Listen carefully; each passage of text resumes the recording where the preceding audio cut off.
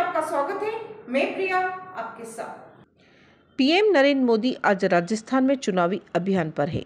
भारत में चुनावी सभा को संबोधित करते हुए मोदी ने वादा किया कि भाजपा सरकार बनते ही राजस्थान में पेट्रोल, डीजल के रेट की समीक्षा की जाएगी और लोक हित में जल्दी निर्णय लिया जाएगा।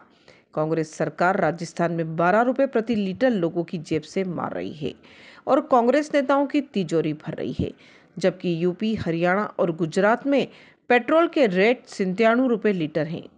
मोदी ने गहलोत पर निशाना साधते हुए कहा कि कुछ लोग यहाँ खुद को जादूगर कहते हैं।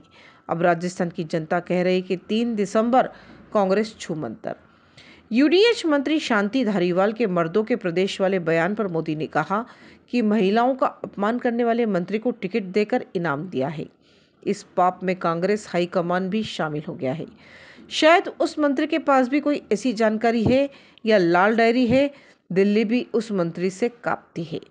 भाजपा सरकार में इस राज को भी बाहर लाने की कोशिश होगी। भरतपुर की सभा के बाद मोदी नागौर भी जाएँगे। वहाँ जाट समाज के लोक देवता तेजाजी महाराज के दर्शन करने के बाद चुनावी सभा को संबोधित करेंगे। इसी के साथ बने रहिए एशिया न्यूज़ इंडिया के साथ। धन्यवाद।